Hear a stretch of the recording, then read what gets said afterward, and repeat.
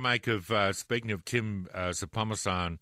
I think he made the point yesterday or somewhere that uh, the Racial Discrimination Commission or Commissioner should, firstly, the title should be not changed and the job descriptive should not change either. Australians uh, need a commissioner like him, uh, and we must be, as a society, ready to stand up against any efforts to change it.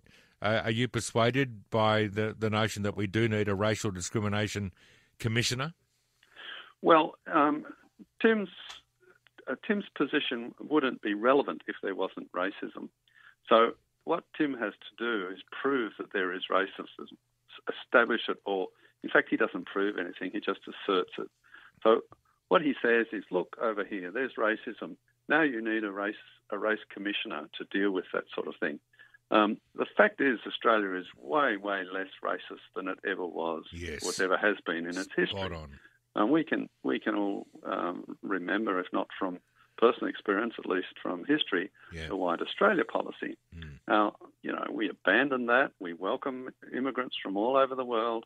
They integrate if they want to integrate, and that's that's really the uh, the issue that has upset some people, if some don't. But um, but if if they want to integrate, uh, they're welcomed, and there's no uh, rejection of anybody on the basis of race whatsoever. Mm-hmm. Now you probably do get individuals who are racist, but um, as a society, we are far from a racist uh, a racist community. I, I, I, spent some time living in South Africa during the apartheid era. I saw racism up close and personal, yeah. and it is not at all nice. And we have no resemblance of anything like that in Australia we could do without Tim, save the money, and and uh, get on with life. And we, nobody would miss him. Nobody would would miss anybody in that position. Yes, because there's just not enough racism to to worry about. And I reckon, David, that we uh, are much better now at calling this stuff out. Mind you, the the Ged Kearneys of the world, who refer to the white white middle aged males, seemingly get away with uh, too much, but. Mm we are, aren't we, a nation of people that are prepared to turn the other cheek? I, I don't know where the quick get offended thing came from.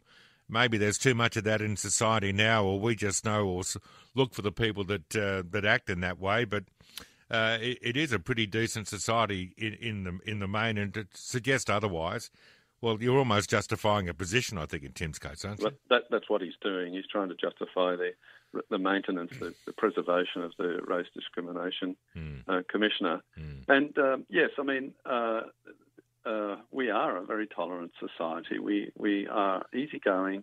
We are known all over the world by people who know us as easygoing, easy to get on with, as long as people feel that when they come here, they're willing to integrate and get along like with their fellow Australians. Yes. The only people that we get up, uppity about are the ones who say, "Well, now I'm here."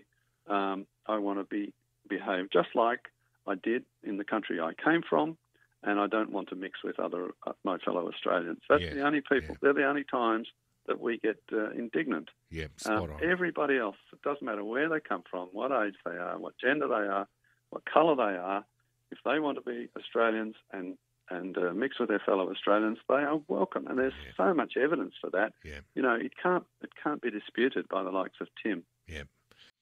You are the voice of reason. Good to talk to you, David. Stay well. Thank you.